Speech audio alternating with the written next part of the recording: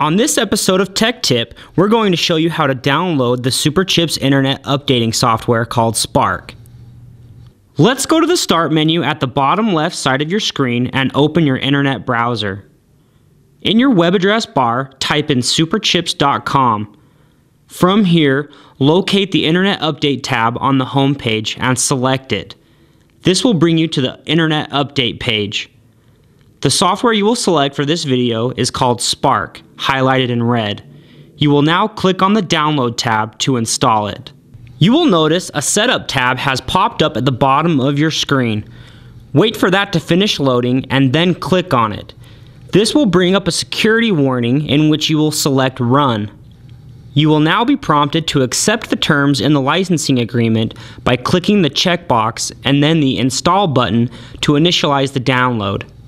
Select Finish completing this process.